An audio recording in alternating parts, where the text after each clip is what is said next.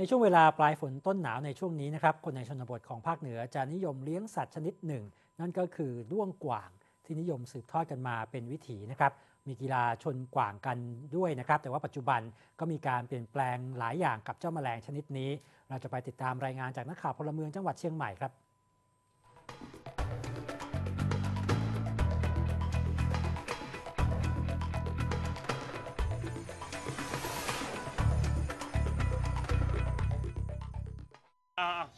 เอาเรียกเอาเลยเนี่ยเอาไป ปลายฝนต้นหนาว ราวเดือนสิงหาคม ถึงพฤศจิกายนเต้าอั้นตีแมลงปีกแข็ง ที่คนเหนือฮ้องว่า กวาง จะออกมาจากผืนดินและแนวป่าป่ากดตัวให้ได้หัน คนติดนี้นิยมหากวางมาเลี้ยง ตลาดซื้อขายกวางจะคึกคักอย่างที่เจียงใหม่ ตามตลาดนัดหลายแห่ง มีกวางเขาโก้งลักษณะดีมากมายให้เลือกหา วิธีหากวางก็คือเปิ้ลต้องไปซ่อมมาเอง เอากวางกิ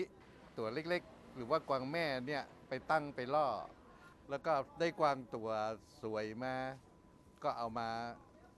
เอามาเลี้ยงนะครับ ถ้าบางงามก็มาเลี้ยงบางทีก็ปล่อยไปเหียส่วนมากก็เอาไปชนครับ อันดับหนึ่งนี่คือเอาไปชนอันดับสองก็เอาไปเลี้ยงให้สวยงามกวางสำหรับคนชนบทล้านนา ยังเป็นมากกว่าสัตว์เลี้ยง ที่นี่ยังมีการแข่งขันกวางสวยงาม และกวางนักสู้ โดยมีกีฬาปืนบ้านที่ห้องกันว่า จนกวาง จับกวางแม่อีลุ่ม หรือกวางตัวเมียลงใต้ก้อนคือกวางตัวผู้สองตัวประจันหน้าเข้าหากัน เจ้าของจะปันไม้กับกรให้มีเสียงดัง กวางทั้งสองจะเดินหน้า เอาเขานิบคู่ต่อสู้อย่างเอาจริงเอาจังไม่ยอมถอยตึงตัวกวางและเจ้าของ แต่แมลงที่ได้จือว่าเป็นนักสู้แห่งล้านนา กลับมาได้มาจากทินฐานล้านนาแห่งต่อไปแล้ว กวางตี้ปอกาเปิ้ลไปฮับมา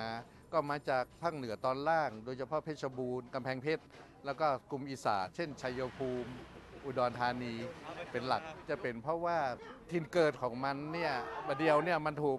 ถูกลุกล้ำอย่างเช่น มีการขยายพื้นที่ทำเกษตรสวนอย่างพวกเที่ยงเนี้ยครับ ดิน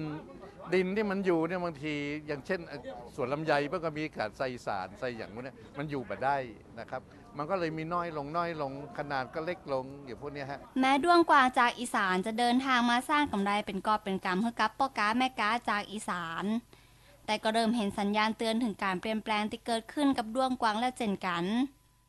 เอ่อสังเกตง่ายๆจากหมู่บ้านหมู่บ้านที่ใกล้เคียงเราเลย กวางแทบจะไม่เหลือแล้ว จากปีที่แล้วแทบ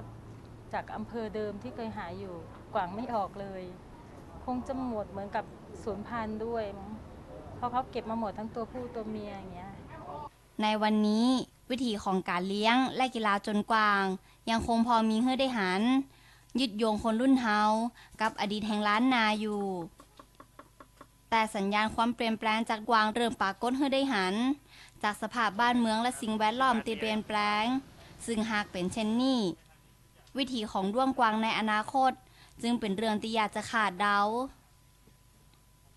นักข่าวพลเมืองจังหวัดเจียงใหม่รายงาน